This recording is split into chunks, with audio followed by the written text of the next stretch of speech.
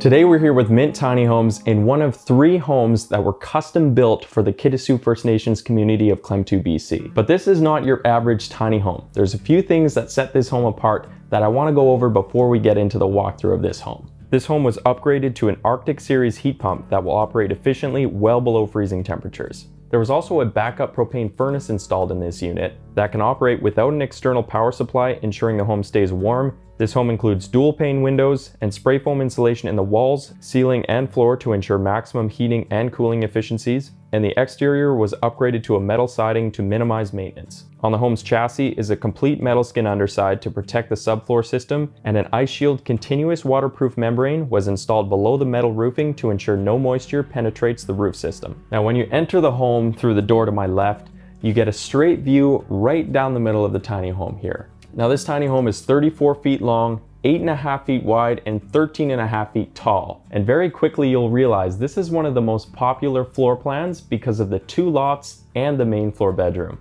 This home is also optioned with bright and airy colors, which definitely help make this space feel bright and open. Now once you take your first steps into the home, you'll find the living room. And in here, you get this nice comfy couch. They've got a nice big window behind me here Above me here, you'll see a floating shelf, which you can use to customize your space to your liking. And to my left here, you actually do get a little bit of storage space underneath the steps. Up on the wall above the master bedroom door, you'll see the Arctic Series mini split heating and cooling system that I previously spoke about. And in front of me, further to the right, you'll find seating for two. Now this may not seem like a ton of space, but it's really all you need. And in a home that's eight and a half feet wide, you can't really bring out counter space too far, otherwise you're gonna be sacrificing either your walking space or your living room. Once you're past the living and dining room, you enter the kitchen. And I have to say, this is probably the most impressive space in this home. And there's a few reasons why. Number one is the storage space in the kitchen. So you can see here, you have cabinets that start from this end of the counter all the way to this end over here. And on this side, you actually get exposed shelving right next to the microwave and down below right next to the oven. In addition to that cabinet space above me here, you do get lower cabinets as well and drawers that slide out. And then on the opposite side of this counter, next to the fridge over here, you do get pantry space that actually goes all the way back to the wall. So you do have lots and lots of space in here to store your food. A couple more things that really set this kitchen apart are the appliances. In front of me here is a massive residential fridge. Beneath it, it has a little drawer that pops out where you can store things. And what that does is it actually pops the fridge up a little bit. And I like that. The reason for that is when you open up the fridge portion, everything is at almost eye level height here. So it's really easy to put things in and take them back out. And because it's a bottom freezer, sometimes these freezers are a little bit uncomfortable to be putting things in and out of.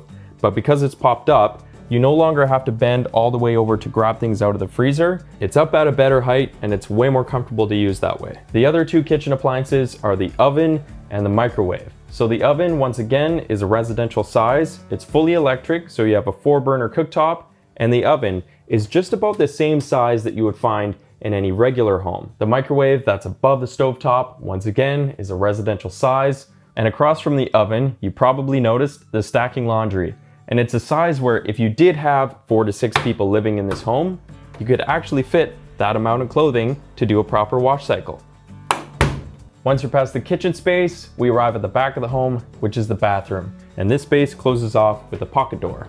So they've managed to fit a residential style toilet just to my left here. And to my right, you actually get a little storage closet with exposed shelving and then a little folding table here. Below the tabletop, this isn't actually storage space. This is where you're gonna find your hot water heater. Then moving forward and to my right, you'll see a nice big glass enclosed shower that does have a bench in there as well. And then finally in my opposite corner is the vanity. You got a mirror there and then a bit of storage below it as well. Now that we're back outside of the bathroom, I'm sure you've noticed this bar above me here and I'm willing to bet you know what that's for. So the first loft is accessible by this ladder which is nicely mounted against the cabinets over here and this, of course, will just hang on that bar so that you can simply walk up to the loft.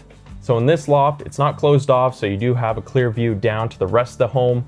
On either side of this loft, you do get windows that open, which is great if you want to cross breeze through this area. In terms of the floor space up here, you could likely put in a queen size bed and then have a little bit of space left over on either side for storage or decorative items like you see here. And as you can see, I am seated on a mattress here, sitting upright, and I still have a couple inches of headroom above my head here. Now back at the front of the home, right in front of the entrance, you actually get the staircase to the second loft. And what's nice about the staircase is that number one, it's more accessible. Number two, usually there's two or three steps up to this loft that actually have storage underneath them. So in this home's case, the first two steps here have some storage space underneath. And as I walk all the way up here, the third step from the top also has storage space underneath. So good use of space let's check out this loft. All right, so in the second loft space, you do get a little bit more privacy here and that's thanks to the storage cabinet that's across from the bed in front of me. Once again, on either side of the bed here, you do get a window. Both will open, same as that first loft. In here, you definitely have a little bit more floor space. As you can see, this is a bigger bed. You can easily fit a queen size bed in here. You do get some space on either side. And one thing I didn't mention in that first loft is if you decided you wanted shelving maybe above the bed or on the wall beside, you can actually mount things to the wall itself. It's a structural part of the home, so if you see the need for extra shelving so you can store items, you can actually do that. Overall, this is definitely my favorite of the two lofts. You get a little bit more privacy and it's way easier to access this one. The main floor bedroom is easily one of the best places to be in this tiny home. In here you have a queen size bed and on either side of the bed you have a little nightstand that has a cabinet below it and you have an upper cabinet above it. Similar to what I talked about in the loft earlier, you can mount additional shelving or cabinet space above the bed here if you wanted to. Once again, on either side of the bed, you get those two large windows, and in front of me here on the opposite wall, you actually get a bunch of custom storage that Mint built into this home. If you or anybody you know is looking to build or buy one of these homes, I've left all the information down below in the description. If you liked this video, please give it a thumbs up and let us know in the comments what your favorite part of this home was. If you haven't already, we hope you consider subscribing to the channel. Thanks so much for watching and we'll see you guys in the next video.